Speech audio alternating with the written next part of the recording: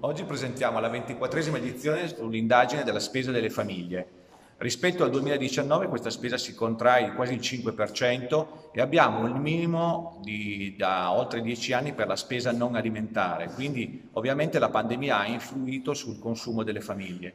Eh, c'è ovviamente una grande crescita del, dell'e-commerce, del cibo da sport e quindi di, del, di quello che è il consumo all'interno delle nostre abitazioni attraverso l'e-commerce una riduzione dell'abbigliamento per esempio oppure un aumento delle spese per la cura alle persone.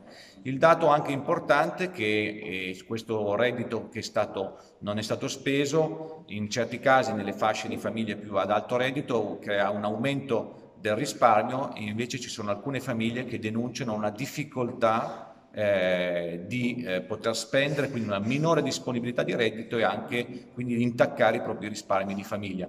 Quindi forse si sta mettendo in evidenza una crisi di alcune fasce di famiglie che hanno più difficoltà e questo è un segnale da, da cogliere. Sicuramente il modello di consumo è cambiato e probabilmente questo cambiamento è talmente strutturale che continuerà nelle, nei prossimi mesi anche con la riapertura. Questo è un grande segnale a chi, ovviamente agli operatori che dovranno comunque essere attrezzati e preparati per, la, per il loro modo di lavorare che sta cambiando.